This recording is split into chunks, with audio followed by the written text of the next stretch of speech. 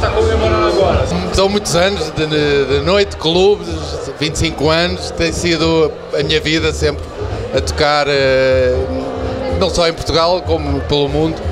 Estou muito contente por isso.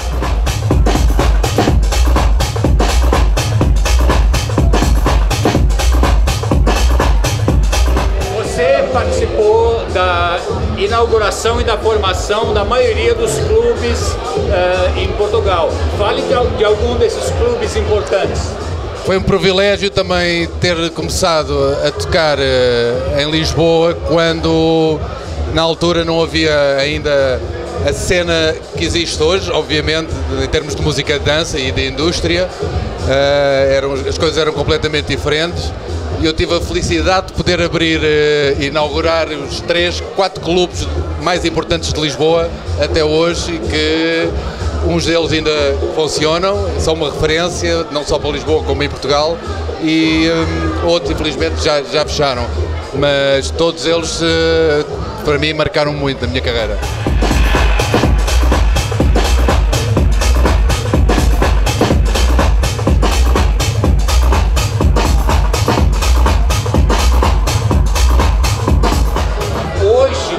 Clube que está mais acontecendo lá? Em Portugal há vários clubes, obviamente. Eu vou falar do meu clube em primeiro lugar. O Indústria abriu, está a fazer dois anos. Foi um espaço que já tinha uma história grande em, em, no Porto, foi completamente remodelado e tem-me ocupado os últimos três anos da minha vida quase a 100%. E em Lisboa depois também tem outros clubes, há o Lux, há outros novos espaços que também acabaram de abrir, que estão a começar agora e há uma, uma grande movida durante a semana e ao fim de semana em todo o país.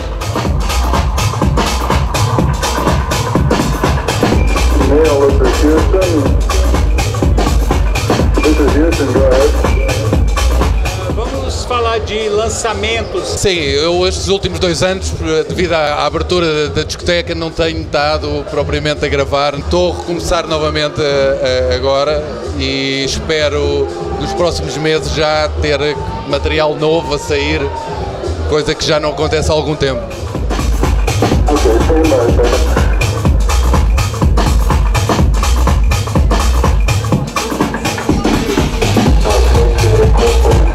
Eh, fala um pouco dessa parte de que você participar em grupos, não somente como DJ.